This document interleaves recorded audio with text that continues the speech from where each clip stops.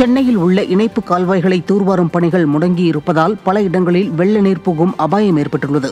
சென்னையில் அடையாறு கூவம் கொசஸ்தலை ஆகிய ஆறுகளுடன் இணையும் நூற்று ஐம்பதுக்கும் அதிகமான இணை கால்வாய்கள் ஒவ்வொரு பருவமழையின் போதும் தூர்வாரப்பட வேண்டியது கட்டாயம். இதுபோன்ற இணைப்பு கால்வாய்களை தூர்வாருவதற்கு போதிய நிதி ஒதுக்கப்பட்டாலும் விடிய ஆட்சியில் பல இணைப்பு கால்வாய்கள் முறையாக தூர்வாரப்படவில்லை என்ற குற்றச்சாட்டு எழுந்துள்ளது. இதனால் பல்வேறு இடங்களில் தேங்கும் மழைநீர் கூவம் அடையாறு ஆகிய நதிகளுக்கு வந்து சேராமல் மீண்டும் குடியிருப்புகளுக்கு புகும் நிலையே ஏற்படும் என பலரும் அச்சம் தெரிவிக்கின்றனர். வெற்று விளம்பரங்களில் மட்டும் கவனம் செலுத்தாமல் மக்கள் நலனிலும் கவனம் செலுத்தி பருவமழைக்கு முன்னதாக கால்வாய்களை தூர்வாரும் நடவடிக்கைகளை மேற்கொள்ள திறனற்ற திமுக அரசுக்கு மக்கள் கோரிக்கை விடுத்து. செங்கல்பட்டு மாவட்டம் மறைமலை நகரில் புதிதாக திறக்கப்பட்ட டாஸ்மாக் கடையை அகற்றக்கோரி அதிமுகவினர் முற்றுகை போராட்டம் நடத்தியதால் பரபரப்பு ஏற்பட்டது. மறைமலை நகர் பதிமூன்றாவது வார்டு பாவேந்தர் சாலையில் பொதுமக்களின் எதிர்ப்பையும் மீறி டாஸ்மாக் கடை திறக்கப்பட்டுள்ளது.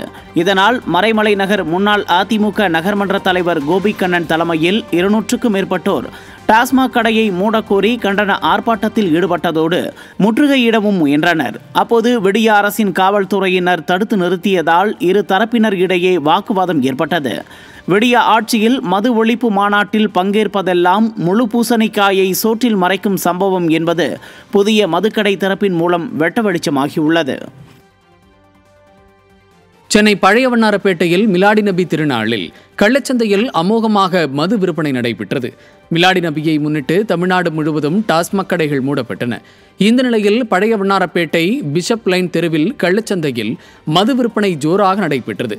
இதுகுறித்து தகவல் அறிந்து சென்ற போலீசார் அங்கு கள்ளத்தனமாக மது விற்பனை செய்து கொண்டிருந்த தங்கபாண்டியன் என்பவரை கைது செய்தனர். விடிய அரசின் மதுவிலக்குத்துறை செயலற்று கிடப்பதாக பொதுமக்கள் குற்றம் சாட்டி வருகின்றனர். மதுரை மாவட்டம் மேலூர் அருகே ஒருபோக பாசன பகுதிகளுக்கு குறைந்த அளவு தண்ணீரே திறந்துள்ளதாக விடிய அரசின் நீர்வளத்துறை அதிகாரிகள் மீது விவசாயிகள் குற்றம் சாட்டுகின்றனர். மேலூரில் எண்பத்தைந்தாயிரம் ஏக்கர் நிலத்தில் ஒருபோக விவசாயம் செய்யப்படுகிறது. ஒருபோக விவசாயத்திற்காக கள்ளந்தரி கால்வாய் வழியாக நானூற்று நாற்பது கன அடிக்கு நீரை திறக்க ஆணை பிறப்பிக்கப்பட்டுள்ள நிலையில் விடிய அரசின் பொதுப்பணித்துறை மற்றும் நீர்வளத்துறை அதிகாரிகள் இருநூற்று தொன்னூற்றி ஐந்து கன அடி நீரை மட்டுமே தற்போது திறந்துள்ளனர். அரசு ஆணையின்படி நானூற்று நாற்பது கன அடி நீரை நூற்று அறுபத்தி ஐந்து நாட்களுக்கும் முழுமையாக திறந்தால்தான் கண்மாய் நிரம்பும் எனவும் இல்லையெனில் விவசாய பணிகளுக்கு நீர் பற்றாக்குறை ஏற்படும் என விவசாயிகள் புகார் அளிக்கின்றனர்.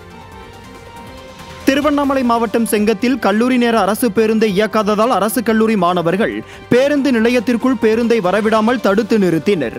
காரியமங்கலம் கொட்டக்குளம் அம்மாபாளையம் உள்ளிட்ட பகுதிகளில் இருந்து கல்லூரி மாணவர்கள் செல்பவர்களுக்கு ஏதுவாக செங்கம் பேருந்து நிலையத்தில் இருந்து காலை எட்டு மணிக்கு பேருந்து இயக்கப்படுவது வழக்கம்.